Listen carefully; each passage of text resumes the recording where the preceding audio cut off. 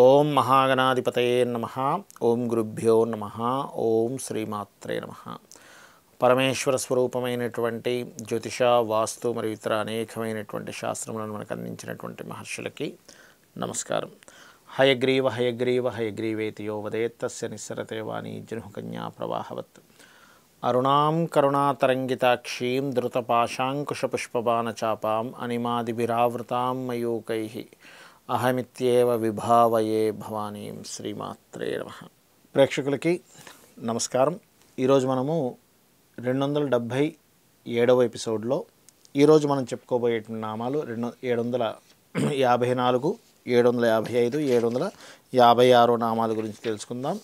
ఈ ఏడు వందల యాభై నాలుగో నామం ఏమిటి అని చెప్పి చూసుకున్నట్లయితే అపర్ణ. అపర్ణ అంటే పర్ణములను విడిచిపెట్టినటువంటిది అని అర్థం. పర్ణములు అంటే ఎండిపోయినటువంటి ఆకులు. ఎండిన ఆకుల్ని కూడా ముట్టుకోలేదట. ఎప్పుడు ముట్టుకోలేదండి అమ్మవారు? అంటే ఈశ్వరుడిని ప్రసన్నం చేసుకోవడానికి ఆ యొక్క పరమేశ్వరుని ప్రసన్నం చేసుకోవడానికి తపస్సు చేసిందట అమ్మవారు. ఆ తపస్సు చేసినప్పుడు కనీసం ఎండిన ఆకులు కూడా ముట్టుకోకుండా తపస్సు చేసినందుకు అపర్ణ. ఈ నామానుకున్నటువంటి గొప్పతనం ఏమిటంటే ఓం అపర్ణాయే నమ అని చెప్పి ఎవరైనా నామం కనుక జపం చేసినట్లయితే అప్పుల బాధలు తీరిపోతాయండి. అపర్ణ అంటే అప్పులు తీర్చేటువంటి తల్లి అని కూడా అర్థము. అదేవిధంగా ఎండినటువంటి ఆకులను కూడా విడిచిపెట్టేటువంటి విడిచిపెట్టినటువంటిది అనేటువంటిది అర్థం.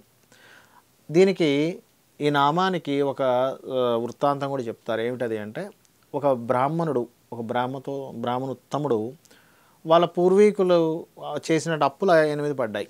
అయితే రోజు ఆ ఊర్లో అతన్ని ఎప్పటికప్పుడు ఎవరో ఒక అప్పులు వాడు వచ్చి అడిగేవాడు. ఇదిగో రేపిస్తానండి మళ్ళీ ఇస్తానండి ఇంకా సర్దుబాటు అవ్వలేదని నచ్చి చెప్తూ ఉండేవాడు. అయితే ఊర్లలో ఏంటంటే అందరికీ అందరూ తెలిసి ఉంటారు. అప్పులు వాళ్ళందరూ ఒకరోజు ఏం చేశారంటే కూడగట్టుకొని ఆ ఇంటికి వచ్చారు.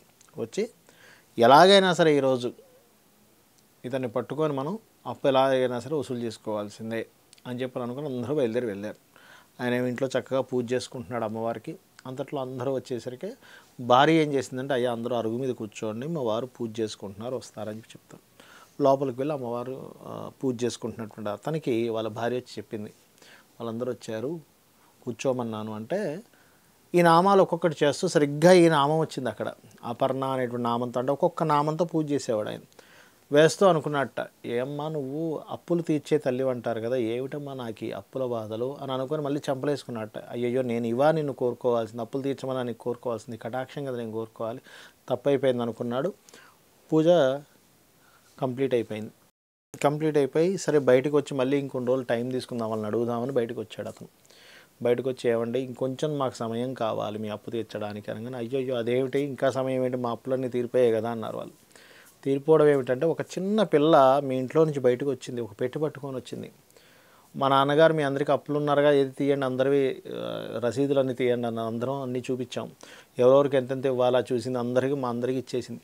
ఈ పేపర్లు చింపేద్దాం అనుకుంటే వద్దొద్దు మా నాన్నగారు వచ్చాక ఆయన ముందు చింపేసేయండి అని లోపలికి వెళ్ళిపోయిందండి. ఒక్కసారి ఆ అమ్మాయిని చూపించరు ఎంత ముద్ద వస్తుందో ఎంత కలగా ఉందో బంగారు ఛాయలా ఉండి ఇంత చక్కగా ఉంది. అసలు ఆ మాటలు వింటుంటే వినాలనిపిస్తుందండి.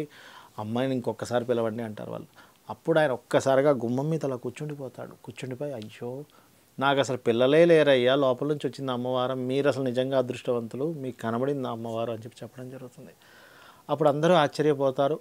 దాని తర్వాత ఆ రాజు పిలిచి అతనికి అతని ఆస్థానంలో అతను ఒక పండితుడిగా నియమించుకోవడం జరుగుతుంది. అంటే ఏమిటంటే అమ్మవారి నామాల్లో ముఖ్యంగా ఇప్పుడు అందరినీ పట్టి పీడిస్తున్నటువంటి అప్పుల యొక్క బాధ ఈ అపర్ణానామం వల్ల తొలగుతుంది. అంటే ఏంటి?